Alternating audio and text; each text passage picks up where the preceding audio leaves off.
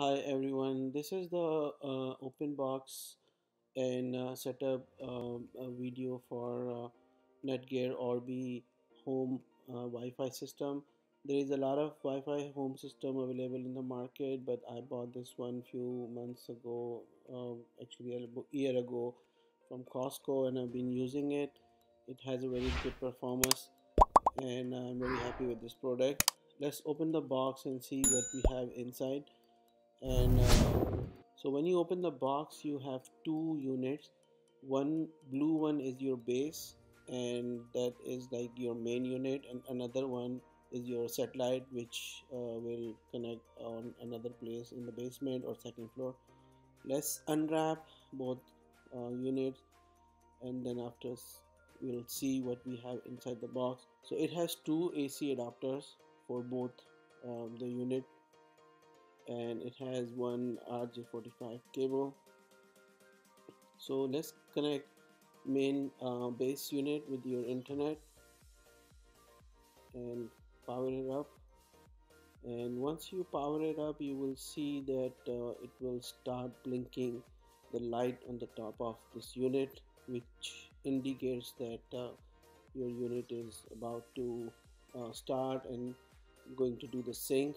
And you can put the second um, unit which is your satellite to another place wherever you want. I wanted my second floor so that's why I set it up here.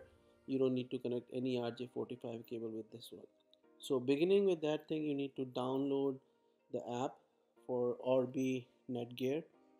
And then after that once you download it you need to um, configure everything where this app phone app which is very good and easy to uh, manage.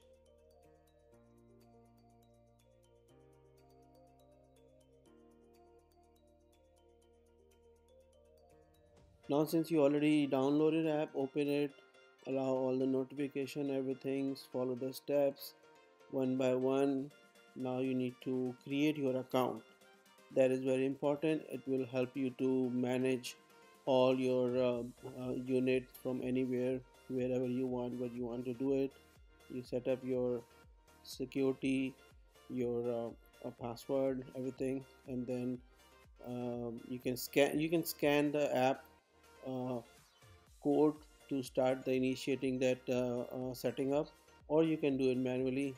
I follow the instruction on the box and start the activation through the scan code. So you can do both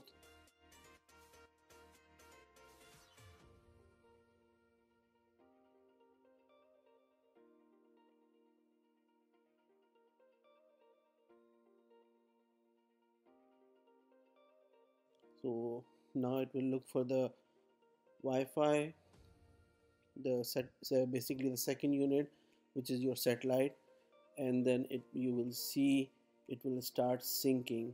Now you, now you can see detecting your satellite on in in that area.